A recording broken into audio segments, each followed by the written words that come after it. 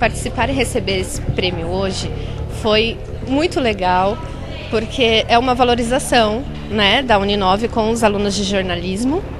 E foi difícil, porque é muita, muita concorrência, muitos trabalhos bons, mas eu estou muito feliz de estar aqui participando.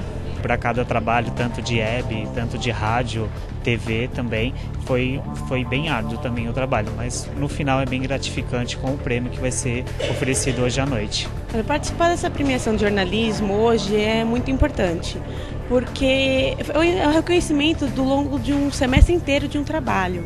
E futuramente ele pode servir para um, um portfólio, para entrar numa outra empresa. Vai ser é importante mesmo e é o reconhecimento um trabalho muito duro que a gente fez ao longo do semestre.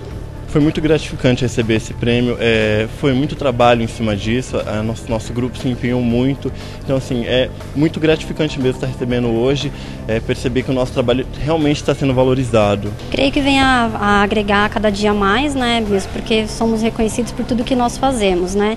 No meu caso, ganhamos o jornalismo impresso, então eu creio que venha agregar sempre mais em tudo que nós fazemos diariamente.